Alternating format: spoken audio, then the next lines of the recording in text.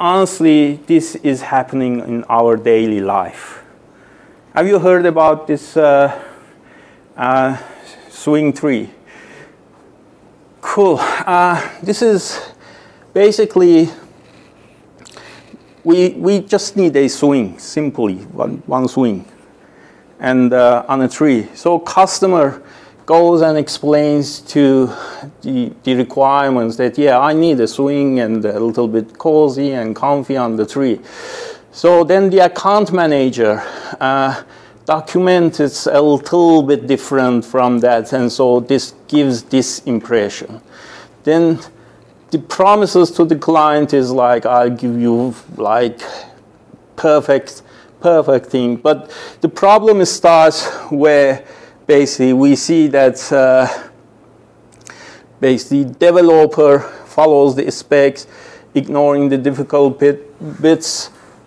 That gives one thing, and then the developer uh, focuses uh, uh basically on uh, forces to add missing functionality. So uh, they make some amendments to here and there, and uh, in the end, you realize that what you what the client needed is just basic swing, and what the project is documented basically nothing there, and uh, when you do some amendment for handover and you realize that you have overcomplicated things that is not operable, it's not uh, maintainable.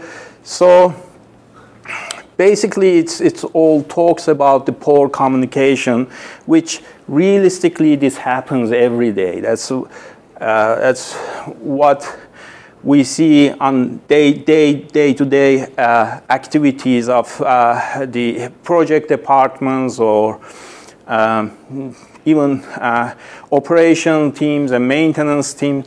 Um, it's all stems from uh, imperfect communication. It's not just the communication itself, the right people to listen, to give them time to listen, to give them opportunity to talk and express their interests, express their concerns.